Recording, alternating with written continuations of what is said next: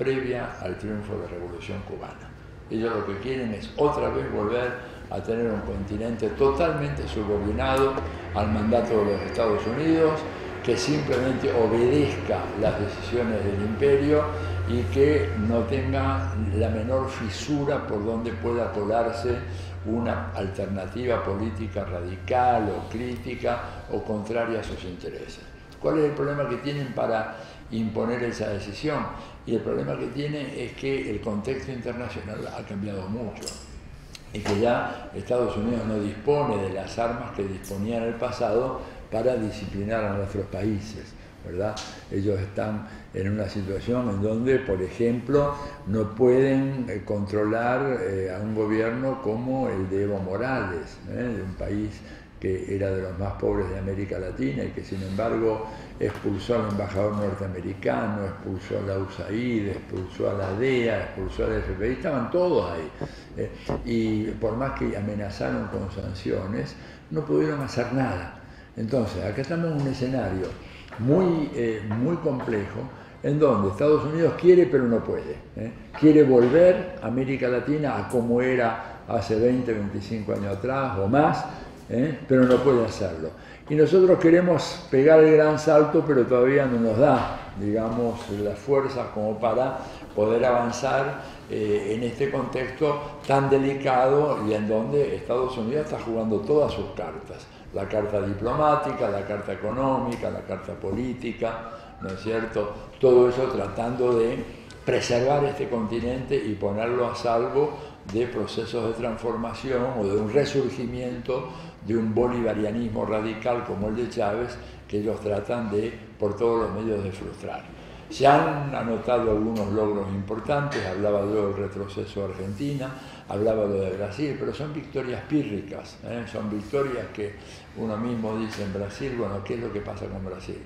Lo que pasa con Brasil es que lograron sacar a Dilma, pero no han logrado estabilizar todavía ese gobierno. El programa de gobierno que ellos tienen es absolutamente inviable. Imagínense ustedes, ellos han sacado una ley ahora que establece que la proporción del gasto público sobre el, Producto Bruto se debe mantener constante a lo largo de los próximos 20 años. En los próximos 20 años la población de Brasil va a ser por lo menos, va a haber crecido por lo menos en 100 millones de personas. Esto quiere decir que se va a tener que contar con una partida equivalente, ¿verdad?, para eh, construir las nuevas escuelas, los nuevos hospitales, los caminos, las viviendas que hay que construir ante una población que crece extraordinariamente, lo cual lo que demuestra esto es que ese programa no va a funcionar. El tema, y además que se presenta también en los otros países de América Latina, es que por más esfuerzo que haya hecho Estados Unidos, no ha logrado realmente construir alternativas sólidas de derecha capaz de derribar a los gobiernos de izquierda o a los gobiernos progresistas. Piensen, por ejemplo, el caso de Venezuela.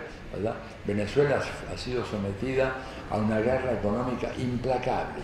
Eh, yo les puedo contar, yo viví en Chile en los años de Allende, había también una guerra económica que había declarado Estados Unidos en contra del gobierno de Allende, con campañas de intimidación pública, con desabastecimiento programado de artículos de primera necesidad. Tú ibas a un supermercado hoy, no había pollo, en todo Chile.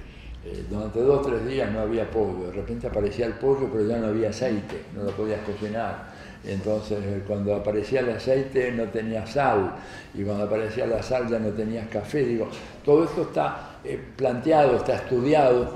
Hay un señor que se llama Eugene Sharp, ¿no es cierto?, que, les recomiendo que lean. Sharp este, es un, él dice que no es de la CIA, pero realmente para mí ha sido uno de los mentores de la CIA, escribió un libro que está fácil, se lo puede encontrar fácilmente en la web y lo pueden bajar y leer, se llama De la dictadura a la democracia. Eh, Eugenio Eugene Sharp, es S-H-A-R-P, ¿eh? como agudo, Eugene Sharp. Y ahí Sharp, ¿verdad? un especialista en desestabilización de gobiernos autoritarios. Curiosamente, esos gobiernos autoritarios fundamentalmente son todos gobiernos de izquierda el gobierno autoritario de derecha, él no se ha preocupado nunca por desestabilizarlo, ¿verdad? Pero fíjense que el tipo este termina haciendo un listado, eh, y lo va explicando en el libro, algo así como 197 o 198 iniciativas tendientes a desestabilizar y a derrocar gobiernos. O sea, es el manual de la CIA, el manual de operaciones de la CIA. Entonces, ¿cómo se derroca un gobierno? Bueno, promoviendo la desobediencia civil. Cuando hay, este, qué sé yo, cuando las fábricas están con un stock muy elevado, trabajar con más intensidad para crear más problemas a las empresas y que por lo tanto las empresas este, se quejen con el gobierno y traten de cambiar el gobierno, eh, hacer operaciones de intimidación pública a los gobernantes y a los funcionarios públicos, organizar funerales religiosos decretando o en homenaje a la muerte de la democracia producida por el gobierno actual. Este, toda clase de iniciativas concretas, ¿verdad? Muy interesantes. Yo les recomiendo que lo, vean ese material, que lo bajen, lo distribuyan, porque creo que son muchas de las cosas que nosotros tenemos que aprender a utilizar. es lo que la CIA utiliza para desestabilizar a gobiernos amigos nuestros, y creo que ahí hay un manual de instrucciones que podemos utilizar nosotros también. Él habla de cómo manipular los sentimientos religiosos de la población a los efectos de ponerlo en contra del gobierno, cuáles son los temas sensitivos que hay que utilizar, cómo presionar a la prensa, a los periodistas. Realmente es un esfuerzo notable. Todo eso está siendo hecho en el caso de Venezuela. La gran pregunta es por qué no cayó Maduro, ¿eh? si ha sido sometido a toda esta campaña. Y la respuesta es muy simple. Maduro no cayó porque el gran legado del chavismo todavía sigue vigente en Venezuela. Y cuando Maduro se siente acosado y sale al balcón del Palacio de Miraflores, ahí afuera hay un millón de personas apoyando a Maduro y apoyando al proceso bolivariano, aunque se quejen de las decisiones y algunas malas decisiones que toma el gobierno. Por ejemplo, no combatir con la suficiente fuerza el problema de la corrupción o haberse dormido con el tema de la inflación, cosas por el estilo. Pero la gente sabe que caído ese gobierno, lo que viene es una reimposición del viejo orden de la Cuarta República y no lo quieren. Y es la gran diferencia entre Maduro y Dilma. La pobre Dilma, cuando se le vinieron encima los globos del mercado, y salió al balcón, ahí no había absolutamente nadie. ¿Y por qué? Bueno, esto tiene que ver con todo un tema muy importante para, para los movimientos sociales, que es la eficacia organizativa, ¿no es cierto?, de los movimientos sociales y la necesidad impostergable de nuestra parte de tener a los movimientos en permanente tensión, en una actitud de permanente vigilancia.